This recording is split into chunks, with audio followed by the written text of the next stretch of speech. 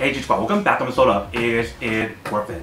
So today's episode we got this cool Underdog here and basically what this is is the BedJet 3. So if you guys see my previous video, I actually did like a whole unboxing and setup process for this whole product. So I won't cover that in this video. For this video, I wanted to do like an update video to show you guys how well the product works and explain to you guys how well it's been working after like a week or so of using the product. So after using the product for one week, I do have to say that it actually works really well to give me like that cooling effect or like the heating effect as well. For me, I haven't used the heat option that often yet because it's been really hot lately since it is summertime right now. But if you guys are living somewhere where it's actually really cold, or if by the time you guys are watching this video, it is like winter season, then you guys can definitely use like the heating option. But around the time that I'm making this video for you guys, it is summertime, so that is why I got this product to give me like that cooling effect. So before I talk more about the product, let me show you guys how it works. So literally all you need to do is just have like a blanket or like a mattress all set up first. And you guys want to set this part right here onto your bottom of your mattress or whatever to give you guys that support to hold it in place so that way it won't fall off.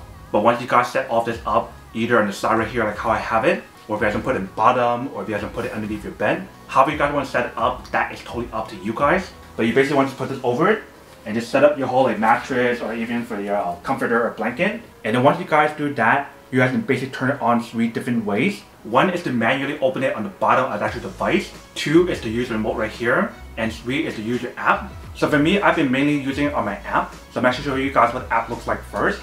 So here is basically what the app looks like when you guys do connect it. So everything on here is basically the same that's in control on the remote control, which is basically right here. So you do have like the off option, turbo heat option, cooling option, heat option, temperature setting, time setting, fan setting, dry, memory 1, memory 2, memory 3, and the list goes on. And I do want to mention for the one that I got right here is a BedJet 3. And for the one that I got right here, it is designed for like twin size bed or like single side. So if you guys have a queen size or full size bed, it will only give you guys a coverage for one side. But if you guys do want a coverage for both sides, you probably want to get two of these, one for each side.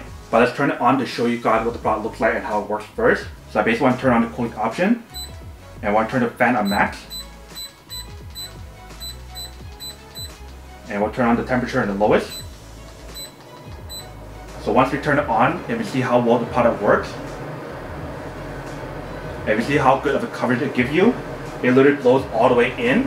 And obviously when you guys do hop in, when you put your body inside here, it actually lifts up even more. So that you get even better coverage when you guys do use it.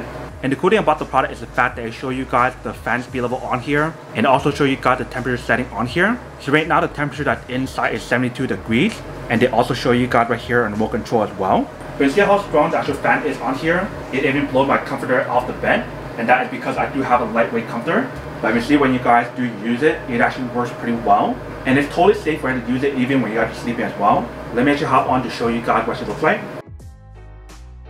Alright, so once you guys hop on, here is basically what it looks like.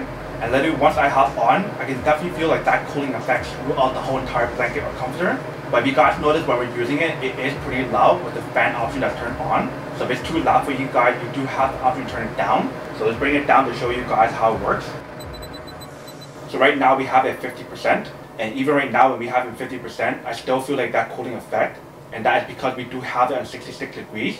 If 50% is still too loud for you guys, you guys can turn it even lower. Usually for me, when I actually go to sleep, I do turn it on to like 20 or 30. And if the product ever gets like too cold, you do have the option to increase the temperature on here to a higher temperature. But basically like the lowest temperature on here is 66 degrees. If you guys turn it back up, let me show you guys what it looks like again. Alright, so now we have it back at 100. You can see how strong the product is when you guys do use it. It's so strong to the point that I can actually feel the cold air being blown on my face on the side right here. So that is basically everything for this quick little update video to show you guys how it works. So after using product for a week, I definitely have to say that it is pretty worth it if you guys want one of these. Especially like I mentioned, if you guys do sweat a lot or if you guys have any issues like if it's too hot or too cold, you guys can turn on the cooling system or the heating system on here to give you guys that cooling effect or the heating option. I do want to mention for this system, it is a game changer or life-changing option. Because in this room, when I do sleep in here, it does get pretty hot. And sometimes I don't want to turn the AC option, so having this option is actually really convenient. So if you guys experience the same kind of issue as me where it gets too hot or too cold, then I do have to say that it is pretty worth it. But then obviously for those of you guys who don't want or don't want or having one of these, obviously don't buy one and save your money for something else actually do need. So that's basically everything for this video itself. If you guys like this video, make sure to smash that like button in the bottom. That will definitely help this video out and it'll definitely help with the algorithm as well to promote more videos for you guys so you guys can see more of the videos or similar videos as well. But as always, make sure to stay positive, be you, and I'll see you guys in the next episode of Is It Worth It? Peace.